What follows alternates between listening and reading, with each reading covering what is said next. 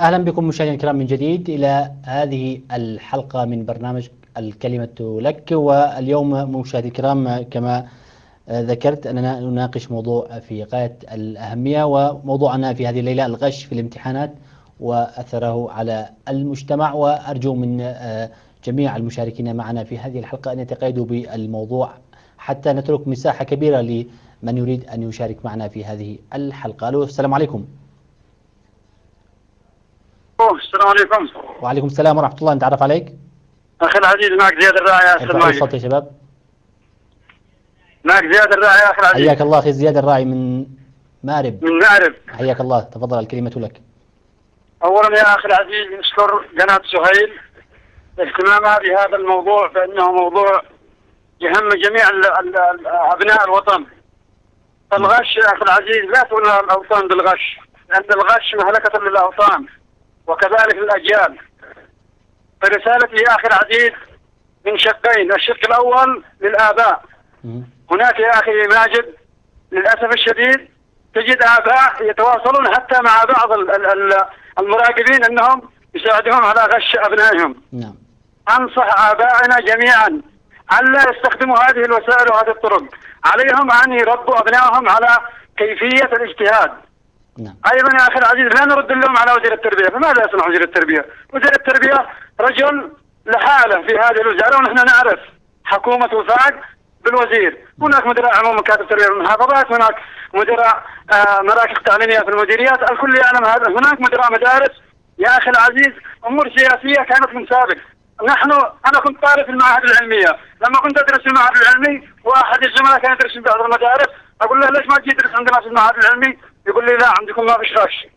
فلهذا ال- الغش يا أخي العزيز استفحل في المدارس وفي التعليم من زمان طويل. نعم لهذا لابد من تصحيح للوضع التعليمي بشكل أساسي تصحيح جذري من ناحية التعيين من ناحية إعادة هيكلة وزارة التربية والتعليم أيضا بالنسبة للامتحانات يا أخي ماجد لابد للحكومة باذن الله ان أن تسعى إلى إيجاد آلية صحيحة دقيقة تخضع لمعايير ورقابات حتى تشرك يا أخي العزيز المنظمات الحقوقية حتى المحامين لماذا لا يشركوهم؟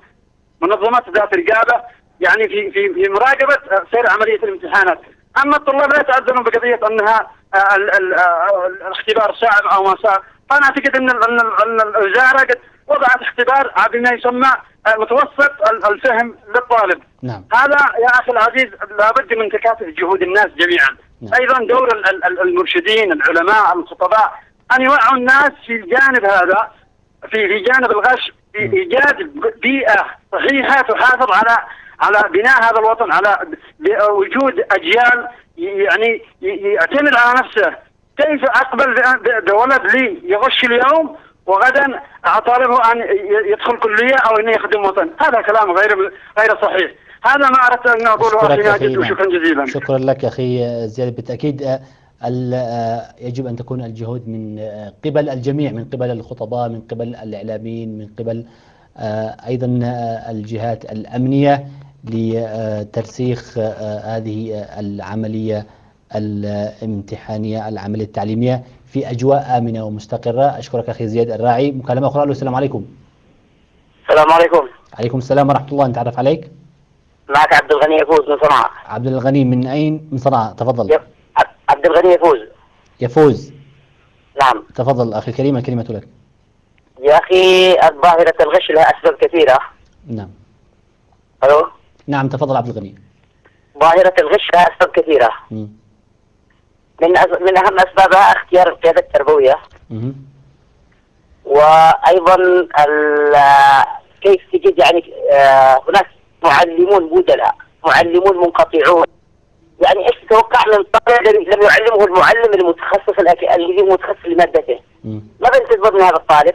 يبحث عن النجاح فقط نعم أيضا غرس مفاهيم القيم التربوية غير موجودة في آه، بصراحة مجتمعنا التربوي مع احترامي لكثير من القيادات التربوية اللي تحاول إنجاح العمل التعليمي والتربوية نعم آه، هناك مشاكل كثيرة جدا يعاني منها المعلم. يعني أحيانا الضعف المادي والوازع الديني يجعل المعلم يساعد الطالب على الغش أحيانا ولي الأمر نفسه ما يهمه شيء مستقبل ابنه وكيف يكون الأساس بل يهمه كيف يحصل على تقدير جيد. أو على تقدير يعطيه منحة. وطبعا في النظام السابق كان يعطى الطالب آه، الوساطات والغش ويحصل على المنح. بينما الأوائل ما يحصلون على يعني أكثر واحد يحصل على التسعينات نعم. على 90 نعم. بينما اللي لا يستحق الدرجات يحصل على 95 98 99 وأحيانا اوائل. نعم عدم إعطاء التربوي حقه وعدم محاسبة القيادة التربوية مدير مدرسة عنده بدلاء عنده منقطعين آه، المعلم المتخصص غير موجود واحد يشتغل طباخ في السعودية والثاني يشتغل مكنس في الإمارات واحد نعم. يشتغل مغترب في أمريكا ودرجتهم الوظيفيه يحافظوا عليها بناس يعني ما أكثر واحد خريج ثانوية عامة. نعم. ما تتوقع من تحصيل علمي نعم. أشكرك أخي. هذه أسباب كثيرة من الاسباب الغش. بالتأكيد نعم أخي عبد الغني. أنت عددت أسباب هي في الحقيقة منطقية وواقعية. أشكرك أخي عبد الغني على مشاركتك معنا. مكالمة أخرى السلام عليكم. أو نقرأ آه، بعض التعليقات على الفيسبوك كما يشير المخرج. والبداية من بسام الإبراهيم يقول من غشنا ليس منا. بالتأكيد هذا حديث شريف. عادل المريسي آه، يقول قد وراثة يا أخ ماجد ما نقدر نغيرها باي يزعلوا الأجداد لا إن شاء الله بنغيرها أخي عادل وإن شاء الله آه، ستكون آه، يكون القادم أفضل وأجمل بمشيئة الله. عبد الشافي الحمزي يقول أعانكم الله أيها الطلاب. قال صلى الله عليه وسلم عليه الصلاة والسلام من غشنا ليس منا. عبد الله آه، باقطمي يقول اللهم وفق كل من امتحن واجعله ناجحا عفوا. يقول عبد الله بقدمي اللهم وفق كل من امتحن واجعله ناجحا يا رب العالمين. وأسألك يا رب كما نجحته في الدنيا أن تنجحه في الامتحان الأكبر يوم القيامة. اللهم آمين. يحيى الصباح يقول كيف نريد أن نرتقي ونحن نعيش بالغش؟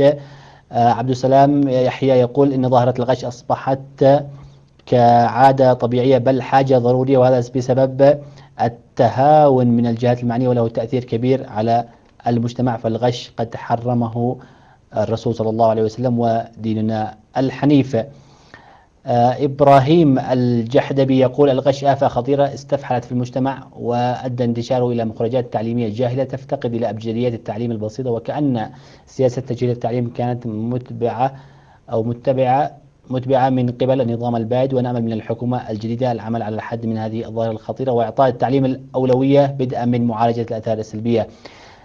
جمال الدين بامؤمن يقول هو السبب الرئيس لأمراض التخلف الثقافي وتصلب المعلومات ويقول وتصلب المعلومات وضعف الوعي وتراجع نسبة التعليم في وطننا وتفشي الجهل وهو مرض آه، استشرى في مدارسنا وسببه ضعف الإيمان وعدم تحمل المسؤولية. أحمد العمري يقول الغش هو خراب العقول ومدمر الشعوب ومعيق للتقدم والتطور. عمار الصباحي يقول الغش ظاهرة سلبية في المجتمع وهو العامل الأكبر في فشل الطالب وقت دراسته وله تأثير مباشر على أداء الموظف الذي اعتمد على الغش ونسأل من الله العلي القدير أن يزيل هذه الظاهرة من اليمن. اللهم آمين.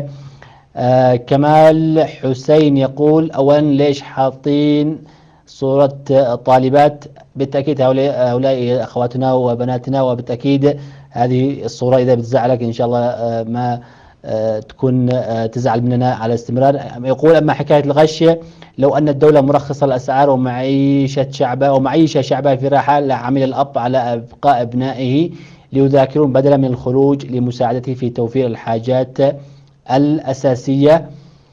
آه عصام يقول الغش في الامتحانات صار الطالب معتاد عليه ولا يعلم الطالب أن هذا سبب فشله وهذا وهذه الظاهرة سلبية على المجتمع وتشكل عائق في ثقافة المجتمع ولن تزول هذه الظاهرة إلا إذا وجد تدريس جديد ونشر الوعي في المدارس.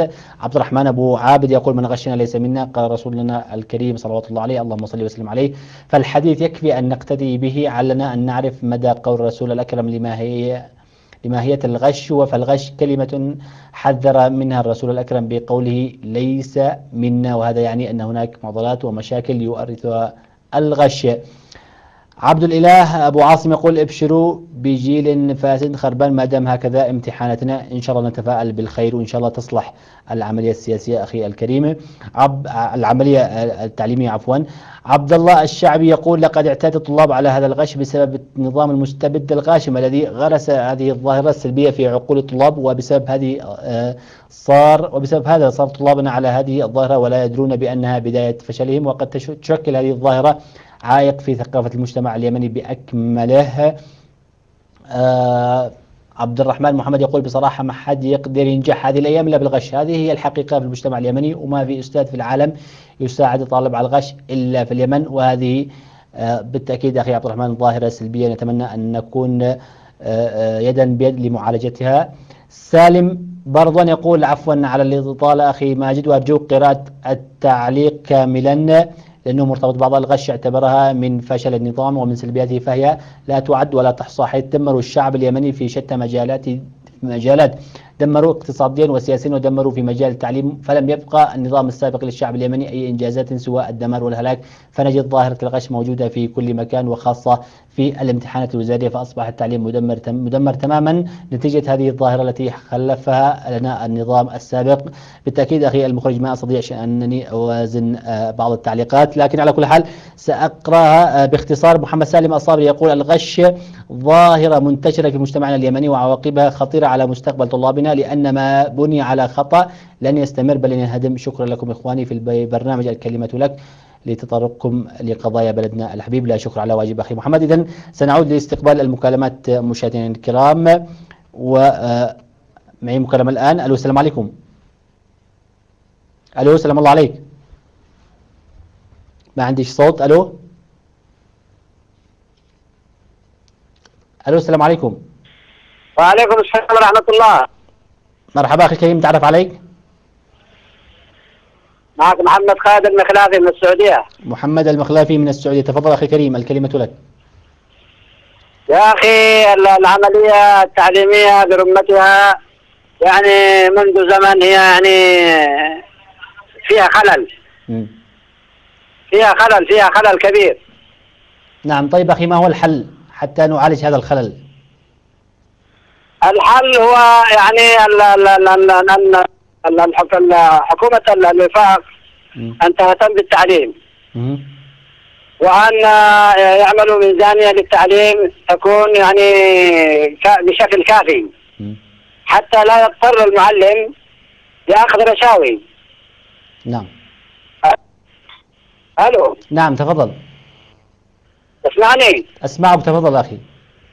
حتى لا يضطر المعلم ليأخذ رشاوي علشان يغشش هذا فمن المعلوم أن الغش في التعليم هو يدمر يدمر العملية التعليمية ويدمر الوطن بأكمله.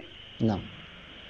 نعم. أشكرك أخي محمد المخلافي بالتأكيد هذه الظاهرة السلبية وتعود آه، بأثر سلبي على آه، العملية التعليمية في بلادنا وعلى المجتمع ككل. إذا سنستقبل آخر مكالمة في هذه الحلقة. نظرا لضيق الوقت ومعنا اتصال ألو؟ السلام عليكم. وعليكم السلام ورحمة الله. نتعرف عليك؟ جنوبية. جنوبية يا مرحبا. تفضلي. آه، لو سمحت. آه، بس طبعا نشارك على الاسم التربية والتعليم. م. اليمن بس اسمها تربية وتعليم. نعم. ولا هي تدمير وتخريب. لأن قبل الوحدة باليمن باليمن الجنوبي أتحدى واحد أن يغش. كان كان دراسة 100% لكن بعد الوحدة للأسف. لكن نقول حسبنا الله ونعم الوكيل عليهم. على الذي بيخطط لليمن. إيش يدمره؟ الله يدمره. نعم. في الدنيا والآخرة. اللهم آمين. نعم. بالله عليك يغشون يغشون. الطالب ما يغش لكن هي التربية تغش. بالتاكيد المسؤول الأول. يغش لكن برضاء المدرسة يقول المدرس يقول للطالب جيب لي 2000 وأنا بديك علامات. بالتاكيد المسؤول الأول والاخير هي وزارة التربية والتعليم ونتمنى أن يكونوا آه، عند آه، حسن ظن الجميع في إدارة هذه العملية التعليمية إدارة آه، صحيحة وأن ينبذوا كل التصرفات السلبية الماضية التي كان يستخدمها النظام السابق ضد أبنائنا وبناتنا الطلاب أخواننا وأخواتنا الطلاب والطالبات في المدارس وفي الجامعات. شكرا لك أختي الكريمة. إذا مشاهدي الكرام بهذا نصل وإياكم إلى ختام هذه الحلقة من برنامجكم الكلمة لك. حقيقة أجدد اعتذاري لأن الوقت قصير ولأن كانت لدينا إشكالية فنية ولم نطلع في وقتنا لكن إن شاء الله سنحاول أن نلتزم بالوقت الساعة العاشرة والنصف. مساء كل أحد ومساء كل خميس. لتقولوا كلمتكم في مواضيع متعددة ومتجددة. إذا أشكر كل من شارك معنا في هذه الحلقة سواء كان عبر الاتصال الهاتفي أو عبر صفحتنا على الفيسبوك. أشكركم مشاهدينا الكرام على حسن المتابعة والإصغاء. أنقل لكم تحيات فريق العمل وماجد دهيم يحييكم. السلام عليكم ورحمة الله وبركاته.